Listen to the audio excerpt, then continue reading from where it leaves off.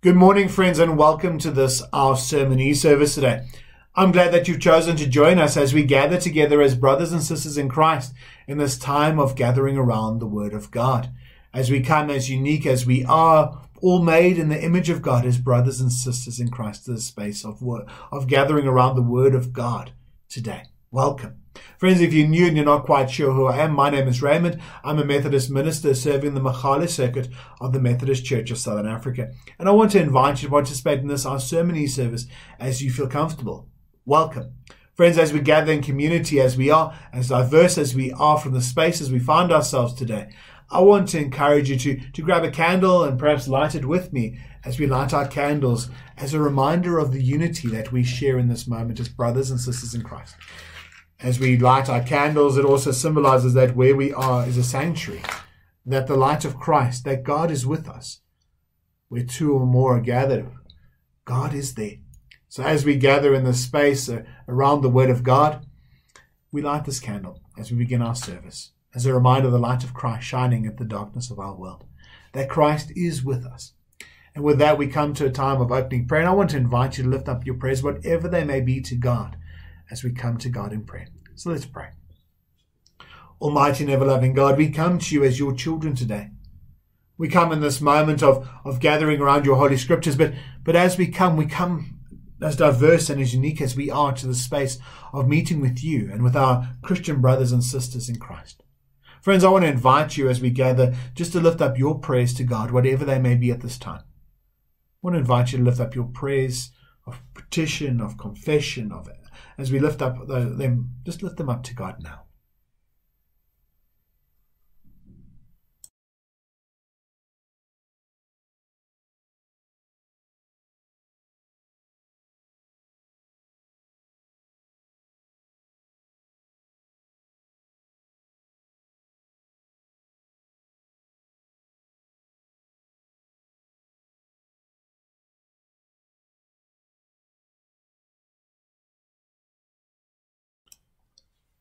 Father, we thank you that you hear these our prayers. As we lift them up to you, we thank you, Father, that you are with us and that you hear all our prayers. Prayers of confession as we ask your forgiveness for the things we have done wrong. And we hear the words of grace, your sins are forgiven, go and sin no more. As we pray for others, that Father, you know each and every one of them by, by name and the number of hair upon their heads. As we pray for things that we need, that Father, you give it uh, to us according to your will and your purpose. So Father, we thank you that you hear all of these our prayers. And as we prepare ourselves to receive the word of God, we, we just t- close this time of prayer by saying together the, the prayer that Jesus taught us, the Lord's Prayer. I want to invite you to pray with me. Our Father who art in heaven, hallowed be thy name. Thy kingdom come, thy will be done, on earth as it is in heaven. Give us this day our daily bread, and forgive us our trespasses, as we forgive those who trespass against us. And lead us not into temptation, but deliver us from evil. For thine is the kingdom, the power, and the glory, for ever and ever. Amen. Friends, as we come to the Word of God today, I want to invite you to open your Bible and to follow with me as we will be reading together from the Gospel of Mark, chapter 9, verses 30 to 37. Now, I'm going to be reading that a little bit later in our sermon, and I'm going to be making reference to a few other scriptures that I'd like you to look up and to read with me as we go in this time of sermon together as well. Friends, as we gather around the Word of God today, we spending time this coming week preparing ourselves to celebrate Heritage Day. Now, on Friday, the 24th of September, here in South Africa, we'll be celebrating Heritage Day. For some of us, it's National Braai Day. But there are various different ways in which we celebrate the diversity of heritage that we have as we gather as a community around the Word of God today. So, with that in mind, I, want to ask you how will you celebrate your heritage? Have you got plans? Have you, have you spent time thinking about how you will honor your heritage this Heritage Day? Just take a moment to think about that.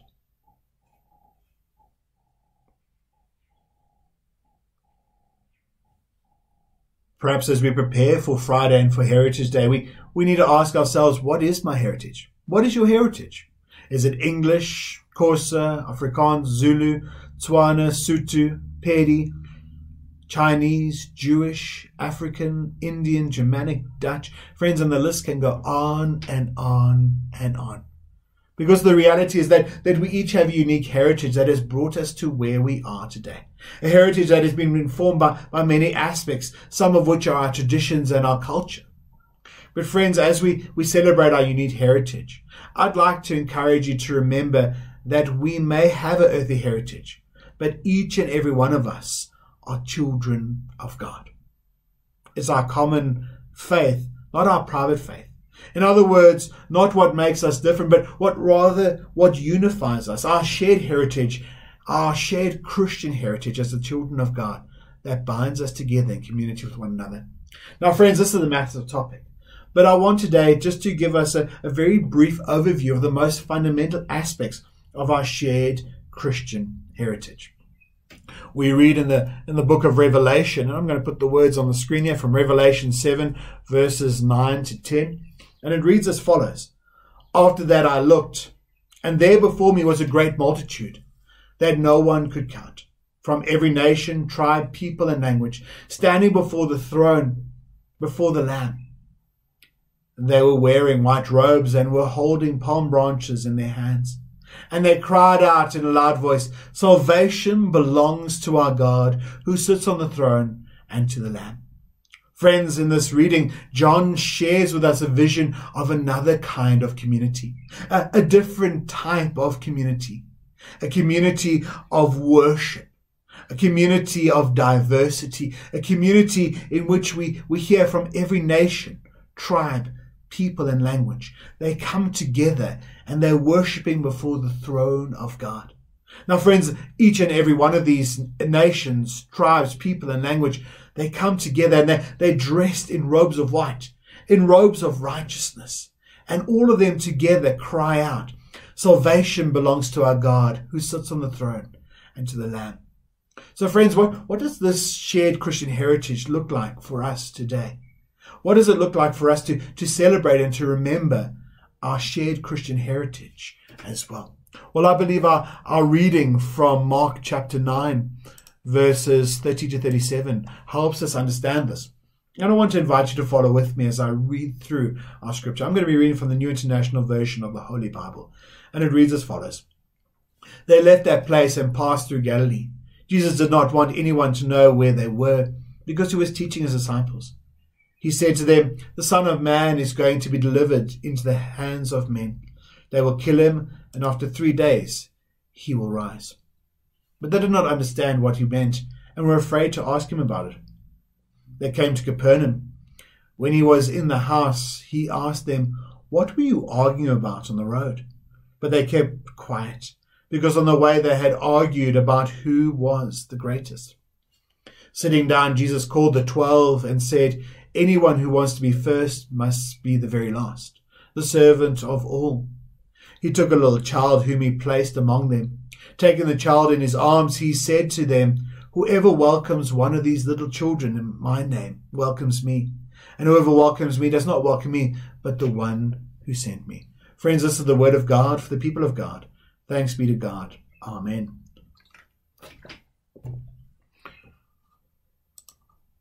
So, friends, as we come to this reading from the Gospel of Mark, our reading starts with, with Jesus focusing on his disciples and teaching his disciples. He's, he's dedicating this moment of his ministry to preparing his disciples for what lies ahead. And as Jesus begins, he, he reminds them yet again that he is going to go, that he's going to die and come back to life. He says to them, let's try that again. He says to them, they left that place and passed through Galilee Jesus did not want anyone to know where he was going because he was teaching his disciples. I already said that. They're focusing his attention on his disciples. He said to them, and this, listen to this, friends. The Son of Man must, the Son of Man is going to be delivered into the hands of men. They will kill him, and after three days he will rise. But they did not understand what he meant, and were afraid to ask him about it. Friends, he, he said to them, the Son of Man is going to be delivered into the hands of men who are going to kill him but they did not understand what he meant and were afraid to ask him about it. Friends, the truth is, just like the disciples, we often don't understand. So many of us don't truly understand the significance of a suffering Messiah. But this, this suffering Messiah, the, the one who dies on our behalf, is a fundamental part of our Christian heritage. Now we've, we've heard about the work that Jesus has done, the saving work upon the cross of Good Friday to, to pay the price for your sin, my sin, and all people's sins. Friends, we, we've been told about this and we've put our trust in what we've been told about Jesus as our Savior as the one who, who pays the price to bring us back into relationship with God. We've come to faith in Christ through this. We become Christians through the knowledge, this knowledge and, and placing our faith in the grace of God. And as we've done this, we've, there's a commonality between us and our brothers and sisters in Christ, that we are one and we have one faith and one Lord. I mean, Paul helps us better understand this as we read from Ephesians 4 verses 1 to 6, as he says to us in this, in this reading, as a prisoner for the Lord, then I urge you to live a life worthy of the calling you have received. Be completely humble and gentle. Be patient, bearing with one another in love. Make every effort to keep the unity of the Spirit through the bond of peace. And listen to these words, friends, in verse 4 to 6. There is one body and one Spirit just as you were called to one hope when you were called, one Lord, one faith, one baptism, one God and Father of all, who is over all and through all and in all. Friends, through Christ we are the children of God, and we are one and united through the love of God. Friends, we are one as we gather here. For there is one body and one spirit, just as you were called to one hope, one hope of salvation when you were called. One Lord, one faith, one baptism, one God and Father of all, who is over all and through all and in all. So, friends, we, we encounter a God who binds us together through a suffering Messiah, the Christ who, who brings us into relationship with God, but also into a deeper relationship with one another as well. Our reading goes on in verse 33 to 35 from Mark 9. They came to Capernaum. When he was in the house, he asked them, What were you arguing about on the road? But they kept quiet because on the way they had argued about who was the greatest. Sitting down, Jesus called the twelve and said, Anyone who wants to be first must be the very last and the servant of all. Friends, our, our reading continues with these words.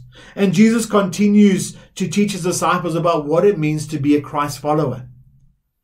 That you become a member of a family that has a very different value system to the world. Could we, could we go as far as saying it is a countercultural community to the systems and values of the world? Values that are, that are often opposite and contrary to those of the world. In, in order to be great, we, we need to be the servant of all weakness over strength, unity and community over individuality. Friends, part of our Christian heritage is that we belong to a community that has very different values to the world around us. Values that, that lead to the development and furthering of life and restoration of community and the world. Not just the individual, but the world, the community. A community in which we, we are part and have our part to play. So, friends, through Jesus Christ, we, we come into relationship with God and as the children of God, into community with one another as well. But it's in this community that, that Mark concludes our reading with these words. And I want you to hear them, friends. He took a little child whom he placed among them. Taking the child in his arms, he, he said to them, Whoever welcomes one of these little children in my name welcomes me. And whoever welcomes me does not welcome me, but, but the one who sent me. He concludes our gospel reading by furthering the teaching of the heritage that we have as Christ followers, by making an example of, of the type of community that we need to be. Jesus takes a, a little child. The Greek word here means a child or slave who in those days and even today in some places have very little social standing and says that, that we need to include into our family the ones who are the least and the lost.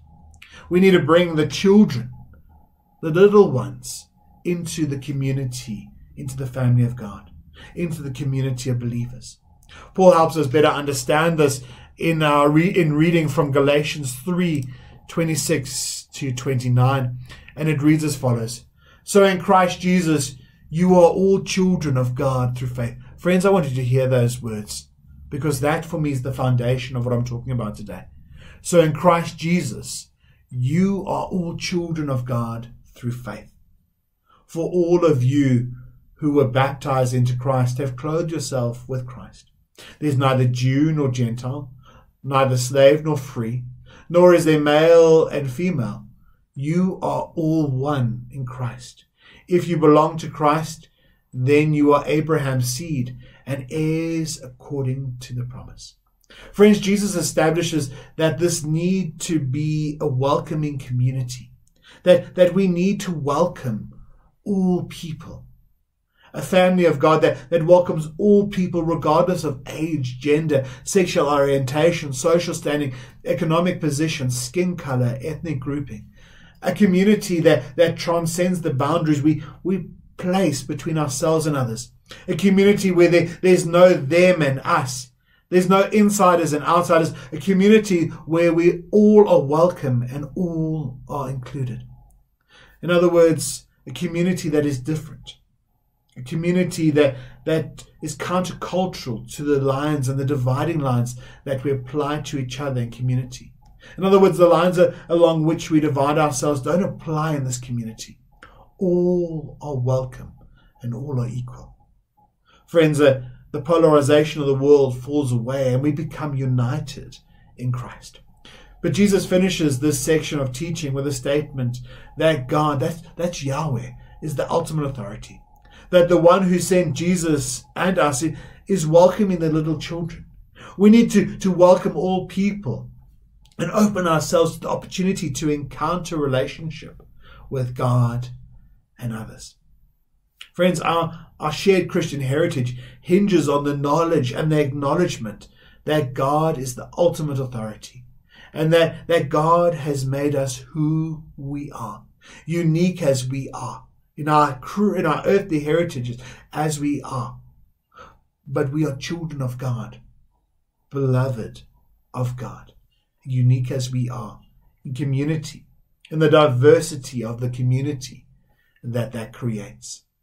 God has, has called us to avoid dividing ourselves, but rather uniting through the unity that, that comes from being the children of God. So, friends, as we remember the, the diverse heritage that we have this, this coming Heritage Day on Friday the 24th, a heritage that, that has often made us who we are, but, but often creates a diverse and dynamic tension within our community and nation. Let us not forget our Christian heritage and the challenge that our Christian heritage brings to our earthly, worldly heritage. Let us bring unity and not diversity, uh, unity and not division, diversity and not our own way. Friends, it's in our Christian heritage that, that we bring unity and love, healing and transformation. So, very, very briefly recap. Friends, our Christian heritage is that we have a loving God who wants us all to be in relationship with God. A God who has made a way for, for all people to come into relationship through Jesus and his redeeming work upon the cross. Our suffering Messiah who paid the price on our behalf. That we have been accepted and that we've been accepted through faith and we received through faith, through the grace of God. That despite our, our sin sick human condition, God, through Jesus, has made us acceptable through forgiving our sin. And we have entered into the family of God. We have been connected with our brothers and our sisters from around the world, from the, the various cultures, traditions, and heritages that we have. A family which has very different values to the world, and a community that, that needs to impact the world with these values so as to bring life and restoration, healing and transformation into our world. So, friends, I want to invite you as we prepare our hearts and our lives to, to live out what it means to be a child of God into our heritage, in the spaces and places we find ourselves. I want to invite you to spend time with God this week. And as you do, perhaps ponder and reflect on the question how are we partnering with God to bring unity despite our diversity to the kingdom of God through the church? I want to say it again. How are we partnering with God? The one who has created each person, and we're created in creation with God, connected to, to the season of creation. How are we partnering with God to bring unity despite our differences, despite our diversity? How we bring unity to the kingdom of God through the church as children of God together. How are we doing this? And once you spend time reflecting on that, I want to invite you to, to take a moment to, to reflect on that and to ask God to help us. Help us as the church to be one and undivided as the children of God. With that, let us come to a time of prayer. Almighty and ever loving God, we, we come as diverse as we are. You know us because we're all made in your image. Diverse as we are, you are the one who has created us unique as we are. And we thank you for the diversity that you have made and the richness that it shows us about who you are, mighty God. Help us to bring unity into the spaces where diversity exists. That division may not separate us, but unity through your grace and in community with each other brings us together because you have made a way. Father, where our sins bring division, may your grace, your forgiveness, bring healing and transformation that results in unity. So help us, we pray to be able to know what to do with what we've we've heard today through this sermon. Help us, we pray, for we ask this all in your precious name, Jesus. Now and always. Amen. Friends, as we come to an end of our time of e-service today, thank you for being here. Thank you for joining us as we've gathered together as brothers and sisters in Christ as diverse as we are in community with one another. So thanks for being here, and I look forward to journeying with you as we continue to journey as community with one another as brothers and sisters in Christ, both on our, through our e-services as well as through our in-person worship services as well.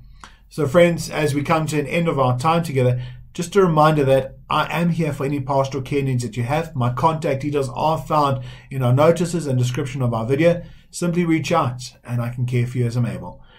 With that, we close our time together by saying together what's known as the benediction.